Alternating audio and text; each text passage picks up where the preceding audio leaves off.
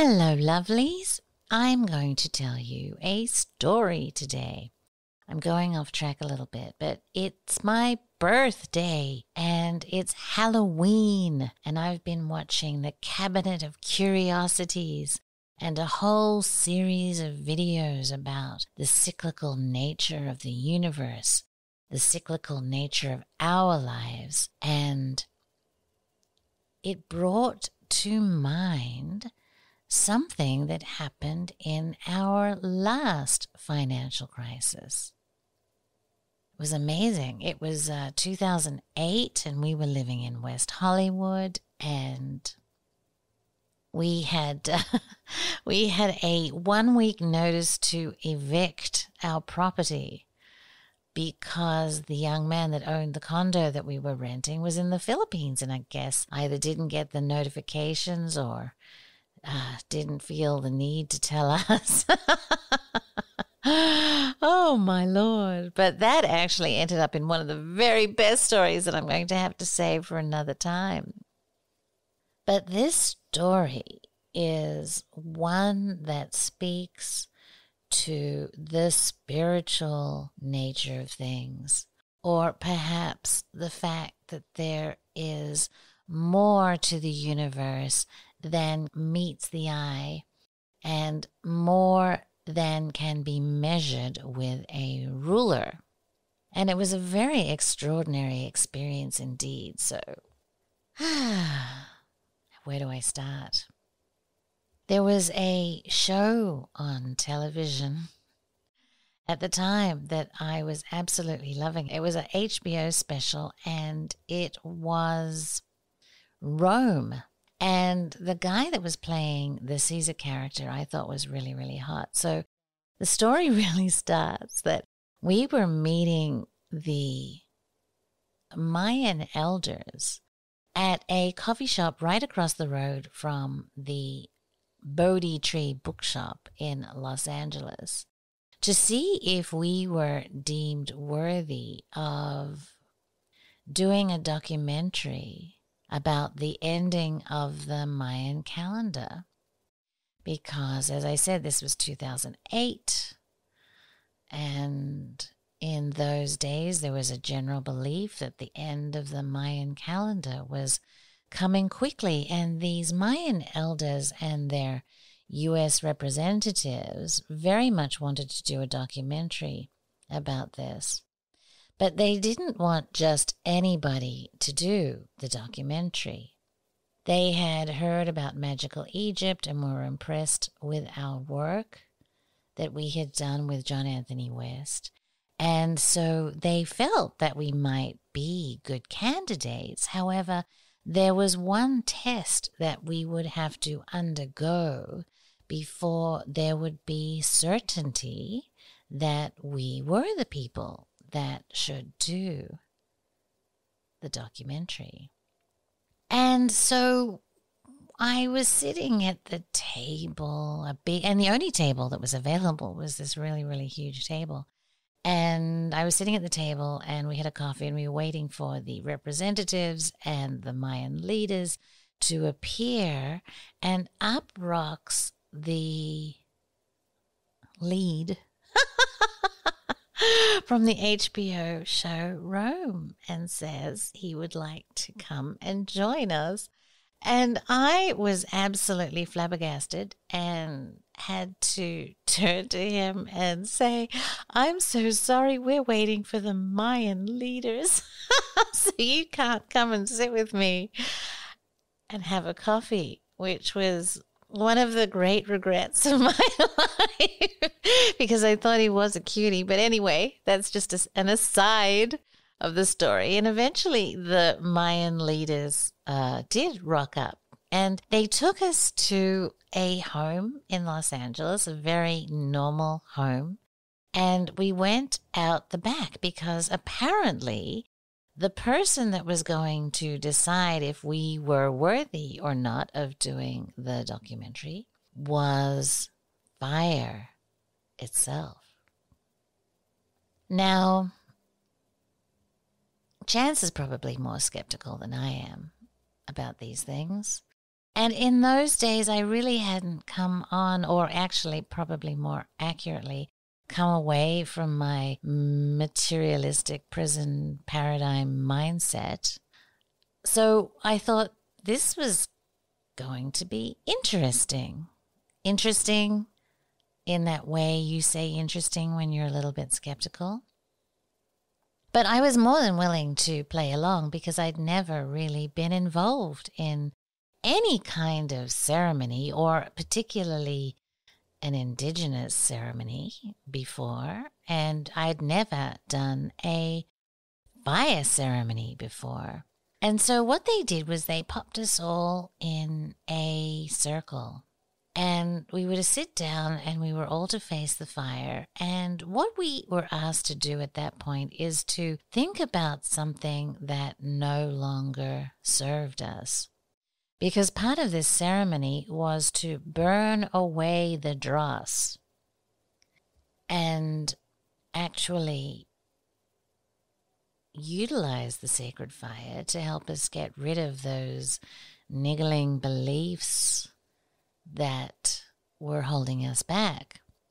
So while we're sitting around in a circle trying to think of what would be the most useful thing to dispose of from our lives, the Mayan elder female, I don't know what you would actually call her, Shah woman? I'm not sure. Anyway, she came into the center and basically she placed a dinner plate on the ground in the center of the circle.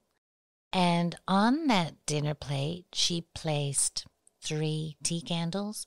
You know, those tiny little round tea candles about the size of a 50 cents in Australia. I'm sure you all know how big that is. and on top of those three candles, she placed some green herbs, or herbs, as we say in Australia. Not terribly many, you know. They it kind of looked like you know four or five strands of coriander, perhaps, or you know. I mean, it wasn't a whole lot of green stuff, and I was thinking, hmm, green stuff doesn't really burn all that well anyway, so I don't know what that was about. But anyway, I sat there and I watched as the Mayan elder lit the candles and began talking to the fire. Now, what originally happened, or when she lit the candles, there was a small flame, as you would expect from a tea candle. I'm sure you have seen that perhaps on a good day, a tea candle flame might rise about an inch if you're lucky. And, you know, then you can throw some paper on it and the flame will, you know, like if you put some A4 paper, the flame might, you know, jump up to be about as, you know, six inches tall or something like that. So you can imagine my absolute surprise when the fire, as a result of her chanting, grew to be a funnel of fire about six feet tall. I could not imagine any way that those three tea candles would generate a fire that was six feet tall and remained six feet tall for about the 20 minutes, hmm, half an hour that the ceremony went on for. I was kind of in a state of shock. And the Mayan leader continued to talk I didn't understand the words that she was saying because it was in a different language. But she would talk to the fire. And at a certain point, the American people said to us that that what we were to do was to throw our pieces of paper that we had written tiny little pieces of paper about the size of a matchbox into the fire so that the fire would help us remove the things that no longer served us. And so we all did that. We threw our bad beliefs into the fire. And I don't know about anybody else, but I said a little prayer and a thank you to the belief that no longer served me. And then the most extraordinary thing in the world happened. there was about 10 or 12 of us around the circle. And so imagine us sitting at one o'clock, two o'clock, three o'clock, four o'clock, five o'clock. And imagine this tall, six foot tall pillar of flame bending over and looking at each one in our faces. Quite astounding. So, if you can imagine the fire would bend down and look at me in my face at, let's say, three o'clock, and it would raise back up and not turn around, but kind of bend back down and look Chance in the face at, say, four o'clock, and stood back up and then bent to view the person at five, six, seven, eight, whatever, all the way around the circle of people sitting on the ground. To say that we were absolutely flabbergasted doesn't even come close to the feeling that we experienced. It was absolutely an experience of awe. I was going to say awful. it was awe filled and not awful, an awe filled experience. And at this point, I think I came into kind of a state of shock at what had actually happened because, wow. You know, the fire gets buffeted about by the wind. I'm sure we've all sat in front of a, a uh, campfire before, but um, nothing like this had I ever seen or have I ever seen since.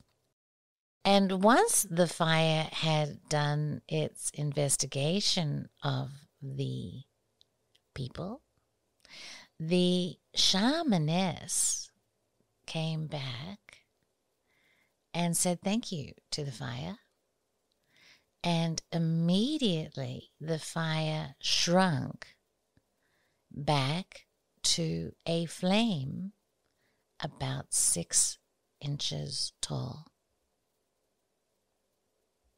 Just wow.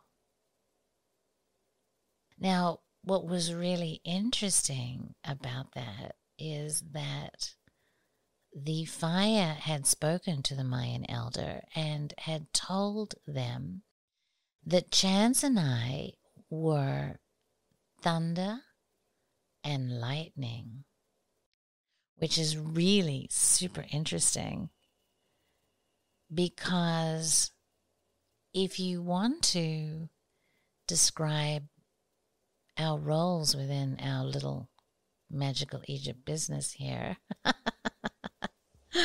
one of us could very well be described as thunder, and one of us could very well be described as lightning.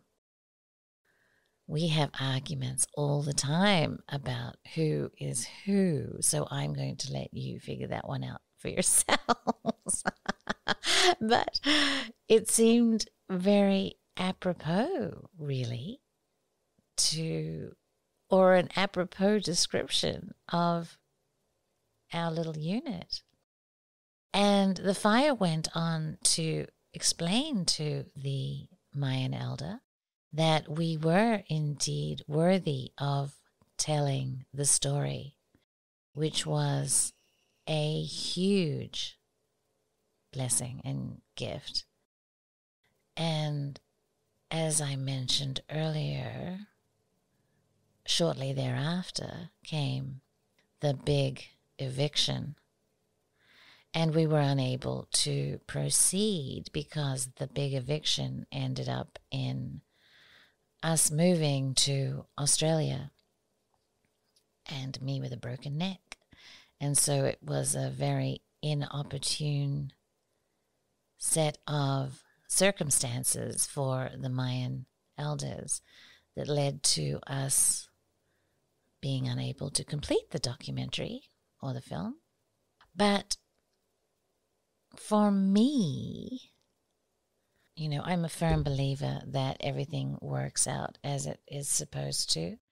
And I ended up, as I've said before, with the very best broken neck in the world. And I ended up in Australia that was very useful to us. We were able to actually escape the worst of the financial crisis. And here we now find ourselves in Thailand, which is the thing that made me think of the cyclical nature of existence. And perhaps being here, we might again avoid the worst of what is to come. At least I'm hoping so. It's a very scary time. I don't think, to be honest with you, that any of us are going to mm, escape the ravages of what is to come. Entire, but here again, I find myself in an entirely new country at the beginning of a global financial crisis. It seems my international travels correlate with global financial crises. Don't you think you could think of a better time to move into a new country and start your life all over again, Venice? I don't know. We'll have to see how that one plays out. But it seems to me that once again there is more than meets the eye. And if the fire bending down and looking at me squarely in the face was not an indication that there is more to this world than we generally want to accept, and if these cycles that we find ourselves in aren't more than just coincidence, then mm, I'm not having it. I don't know about you. I don't know if you have found cycles in your life as well, or if you've had an extraordinary experience with fire. And then we have Veda Austin that has shown us that you can have extraordinary experiences with water as well. Now that I'm 57, I'm full of excitement at the adventure of the understandings and the new knowledge that is becoming available to us it's a very, very exciting time to be alive.